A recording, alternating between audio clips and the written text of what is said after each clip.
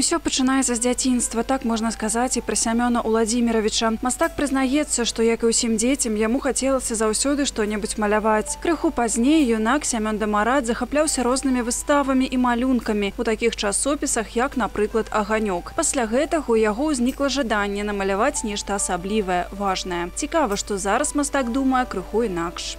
утопическая идея. Себя можно выразить и в простых вещах.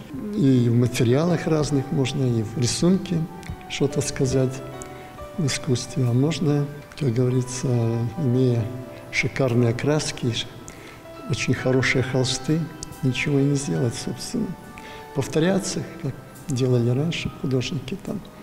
Главное найти художнику свою вот это, выразить свою индивидуальность, свою взгляд на природу, и, и чтобы чувствовалось это вот отношение к этой же, опять-таки, природе свое. Если я люблю какой-то мотив, то я вкладываю в него свою любовь, как говорится Перанесці на палатно свае пачуцці вось тое галоўнае, што да гэтага часу рухае мастаком, калі ён пачынае новую карціну. І гэта не толькі пра пейзаж. Роспісы і мазаіка на тэму прыроды Сямёна Владзіміровича упрыгожваюць не адзін грамадскі будынак у краіне, напрыклад, нацыянальную бібліятэку і палац незалежнасці.